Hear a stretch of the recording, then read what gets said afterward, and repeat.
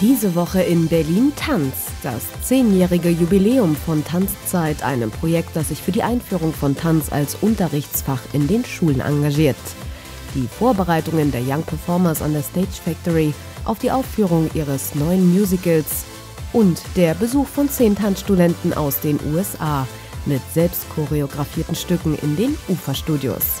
Berlin tanzt am kommenden Samstag um 16.45 Uhr 20.45 Uhr und 23.45 Uhr sowie am Sonntag um 21.45 Uhr und 23.30 Uhr auf TV Berlin. Einschalten und genießen.